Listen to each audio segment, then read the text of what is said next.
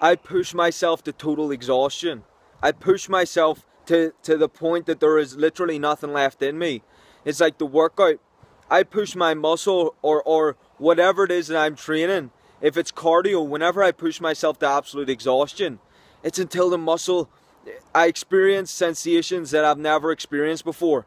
Whenever I'm doing that bicep curl, I'm experiencing something that I have never felt in that muscle. Something that, that's new every time whenever I work out. It's, it's my body communicating in a way that I don't actually understand. If you can grasp that and you don't choose to be the many out there that laugh, that say stupid shit, that don't understand it, and you choose to do it, the person you become, whenever I say Titans in an area, if you can push your body every single time that you work out to exhaustion, you don't understand what that does to a person. If you do it, you do, however. Top athletes understand.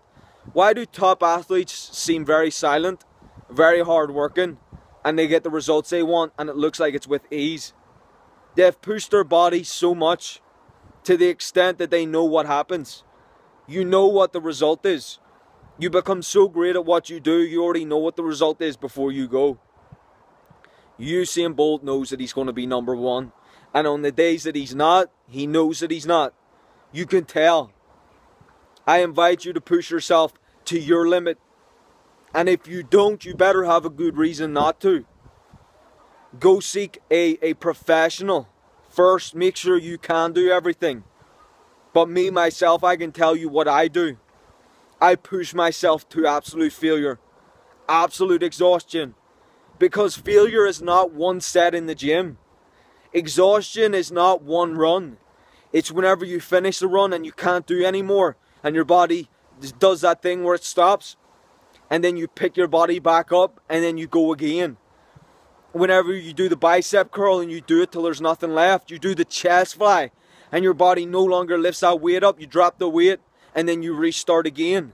Now you push your body to a different level, a different extent that isn't in workout programs, that is not available on any type of TV show or video that you can have access to. None of them exist. You have to understand yourself what it takes, what you yourself have to do to get the best results. If you're not in it for the best results, if you're not in it to be the best, then you don't need to do it. If you do want to know what you can achieve, what it takes to achieve it, what you have to go through to get there, then you will start each and every day bettering yourself, pushing yourself that bit more. I'm sharing my message. I go to exhaustion every single time, every single part of the workout. And as I finish it, as I finish what the fuck I'm doing, I restart it again. I do something different. Sometimes I do two workouts. What, what, what yesterday was acceptable, I now do double of it the next day. If you can do that enough and you're willing to, and you understand you yourself choose to, I'm not telling you, you choose to.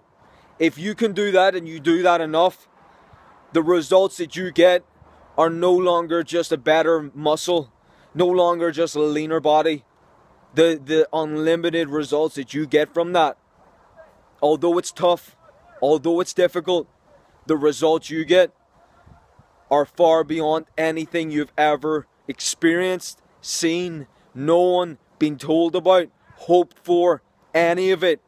This is a different level. I choose to push myself to exhaustion for far more than just a better physique. The person that you become is one of the greatest people that you can be.